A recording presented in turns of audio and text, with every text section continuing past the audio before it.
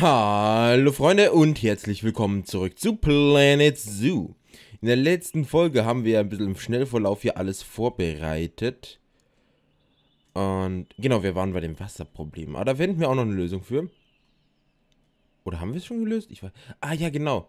Wir wollten schauen, ob es reicht, wenn wir hier die... Warum ist das hier so komisch? Hm. Aber wenn es hier reicht, wenn hier die Wasserpumpe sozusagen den Rest des Flusses. Weil rein theoretisch würde sich da bewegen, ne? Äh, wir haben unsere Kaffernbüffel jetzt ins Gehege geräumt. Das Männchen, das Weibchen. Und jetzt pass auf, jetzt brauchen wir sicher davon...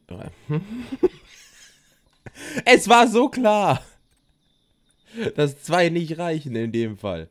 So, aber wir wollen die Pflanzenart wissen. Umgebung, Afrika, Graslandschaft.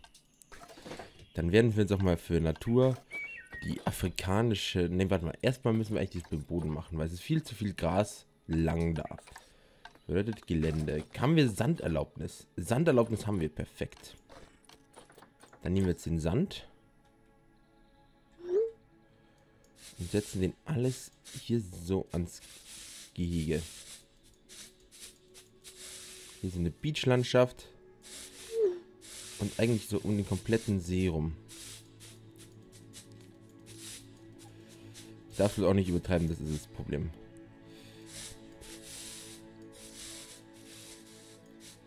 So.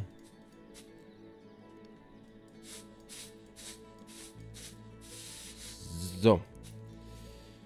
Dann zu wenig Erde. Setzen wir doch das. Wo setzen wir das hin? Erde leicht.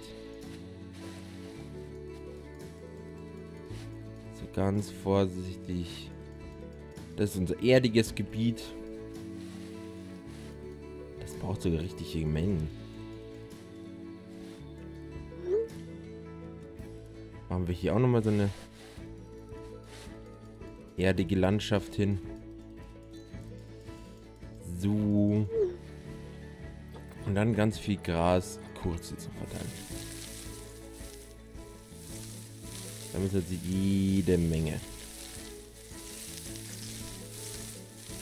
Davon muss erstmal ordentlich hier hin. Zum Beispiel die Landschaft hier drüben muss ordentlich das Gras gekürzt werden.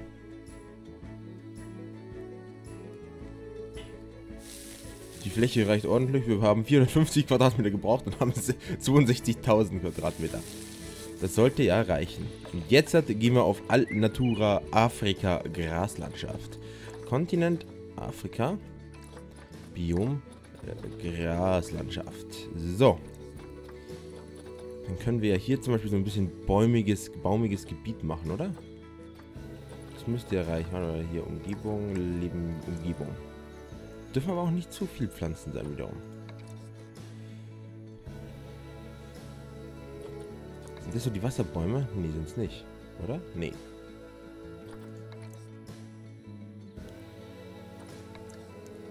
Die Wasserbäume hier eher weniger? Schaut eher schlecht aus, aber man kann hier überall schon mal ein paar von denen zur Verfügung stellen.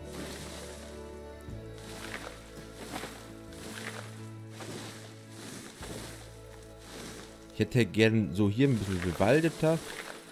Hier kommen die verschiedensten Bäume.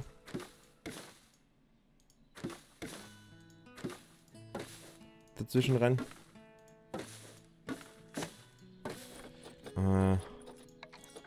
So ein paar Palmen.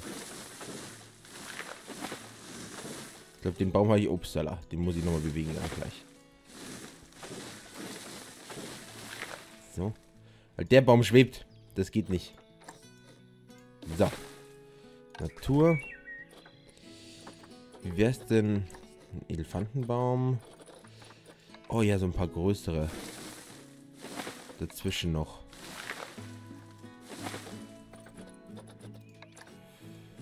Das ist eher so das bewaldete. Oh, scheiße, ich muss ja gucken. Oh, warte mal. Wenn ich nicht weiß, wie viel ich machen darf noch, dann ist das ein bisschen problematisch. Ah, 3% habe ich erst. Ah, wo setzt man denn den Fetten hin? Hier sind die Mitte, oder? Ein paar verteilter.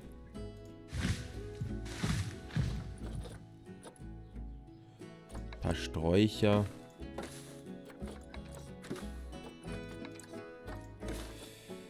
Ich mache das immer so ein bisschen einfach so locker aus der Hand. Nicht wirklich drüber nachdenken, wo ich es hinsetze.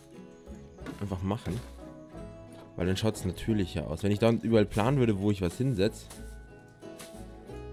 dann wäre das wie so eine Stadt in Amerika, die sehr stark gevielteilt ist.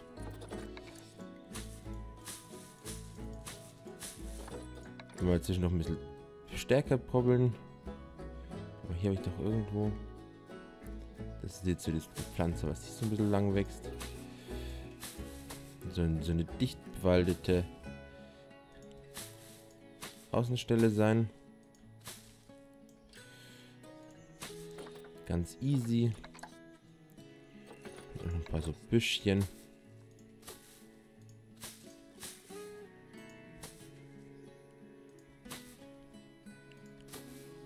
So. Dann nehmen wir hier noch ein paar vereinzelte Büsche, vielleicht ein paar Besträucher auch. Ne, das ist Fahren, das geht eher weniger.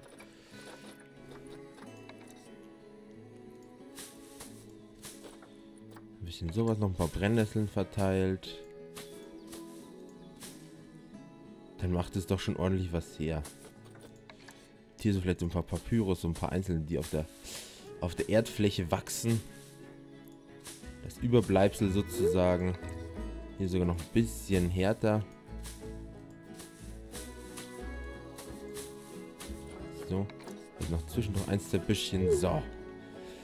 Und gut eingerichtet ist das Gebiet. Das geht ganz, ganz easy. Aber schaut euch das Teil an. Das macht schon was her, ne?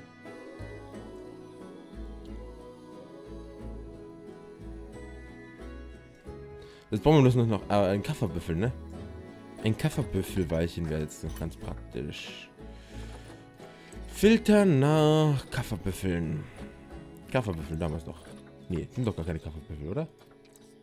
Weißschwanz Noobs. Weiß-schwarz genug. Da haben wir es doch. Weibchen, Weibchen. Ja, zwei Weibchen. Nehmen wir gleich beide. Dann ist die Variation ein bisschen höher. Wartet im Handelszentrum an Zoo senden, hierhin. Perfekt. So.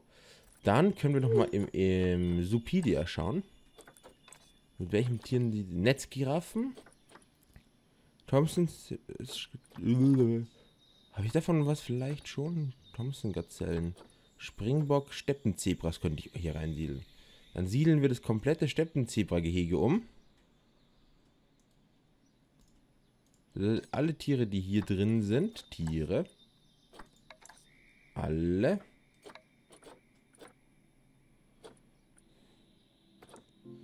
Verlegen.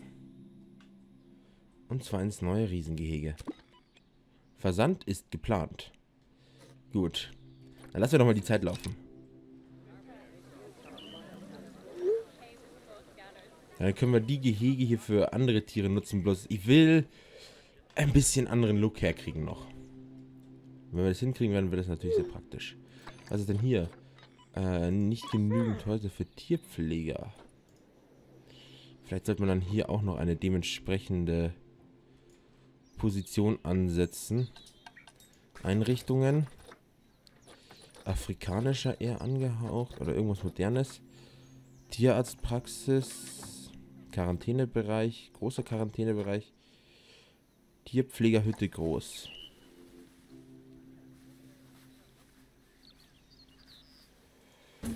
Dann tun wir noch einen Quarantänebereichen, aber einen kleinen. Ich denke, das sollte reichen. Und noch einen Kranken, der eine Tierarztpraxis Neue Welt.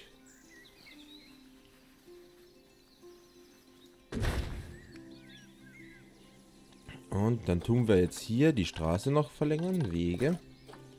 Mitarbeiterwege, 4 Meter.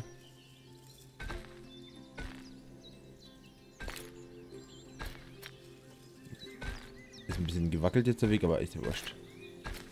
So. Nuala beginnt schon wieder in so...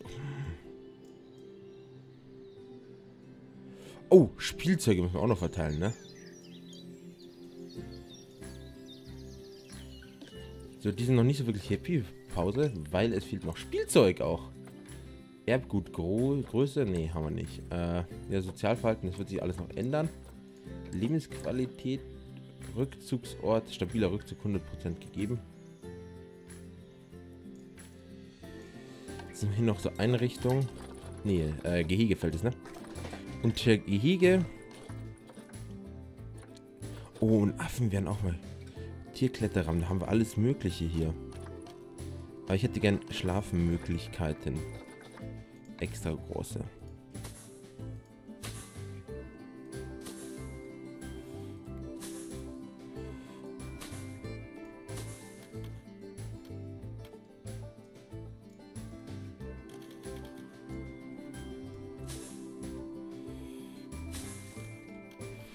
So.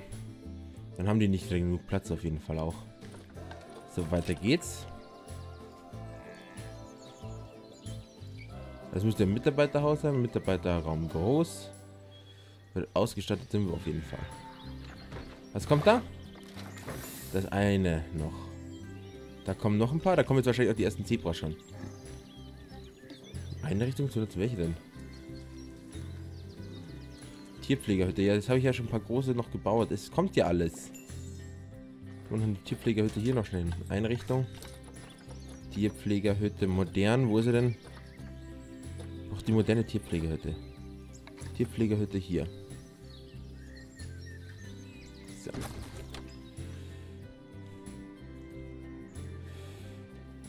Da ist das erste Zebra auch. Ne, es sind mehrere Zebras. Warte mal. Da sind mehrere Füße. Kommt noch eins. Bewegt euch. Ich dachte, ihr versteht euch mit den Jungs. Da, da bewegen sich die ersten auch. Bewegen. Kommt schon. Los. Los, Freunde. Ja, die Wildnis wartet auf euch. Was ist das cool. Das ist schon... Wow.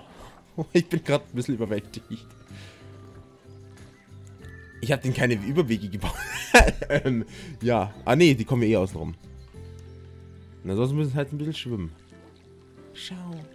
Oh so süß. Ich hätte vielleicht ein bisschen die Hänge nicht so steil machen dürfen. Aber schau, wie sie laufen. Da müsste noch eins gerade angekommen sein. Ja. Und es läuft zur Herde. Es läuft. Das ist gleich auch schwanger, oder? Schwanger? Bist du schwanger? Meld dich mal kurz bei mir. Warte mal, bist du schwanger? Hoch. Du hast nicht so einen dicken Bauch, oder ist das... das ah, schau mal. Lebensqualität ist sehr niedrig. Lebensqualität. Ja, Beschäftigung braucht man viel noch. Gehege. Vor allem können wir uns so besser um halt diese Lebensqualität zum Beispiel kümmern. Schauen wir mal. Wir brauchen für Art Weiß. Wo ist es denn? Weiß. Ah, ist es hier wieder Weißschwanzgnu, Zebra, Steppenzebra wahrscheinlich unter, oder? Steppenzebra, ja. Dann müssen wir jetzt hier zum Beispiel mal... Das verteilen wir jetzt aber so am Rande. Ein großer Fußball zum Beispiel noch. Das taugt den nicht mal hübsch. Das tut volles. Das Reibeteil, Reibesäule fällt auch da unten drunter, aber das ist auch so eher so meh. Futterspenderball.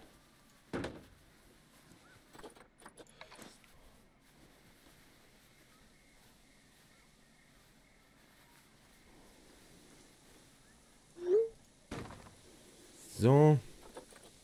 Greifball, großer Schneeball mit Kräutermixturen.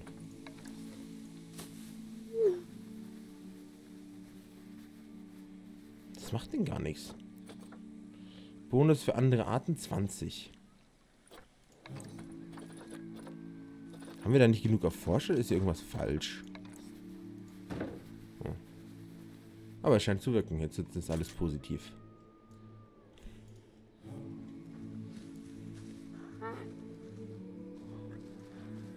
Ah, ist das schön. Schaut euch an. Sie verstehen sich, sie laufen rum. Wir sind noch viel... Ah, vielleicht auch noch machen können. Ding. Wir haben ja noch nicht genug Essenspunkte eigentlich, oder?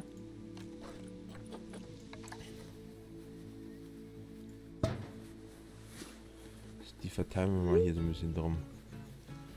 Hier zum auch noch einen hin.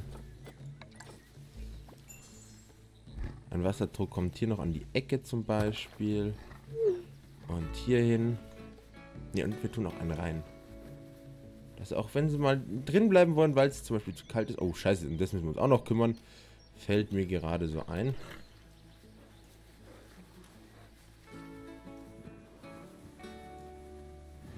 Wenn es zu kalt wird, müssen die hier drin auf jeden Fall warm haben. So. Das sind auch die ersten, die sich schon das anschauen. Kann ich mir gut verstehen. Das kann ich echt gut verstehen. Trampeltiere. Trampeltiere! Jungs, Ruhe! Wo sind sie denn? Wer ist der Beste von euch im Zustand her? Alpha, der Alte. Verletzt. Oh, ja, trotzdem du es freigelassen. 139. Aber Leute, das war's für diese Folge. Ich hoffe, euch hat's gefallen. Wenn ja, lasst unbedingt einen Daumen nach oben da. Abonniert, wenn ihr noch nicht habt. Und wir sehen uns in der nächsten Folge wieder. Also, bis dann. Ciao.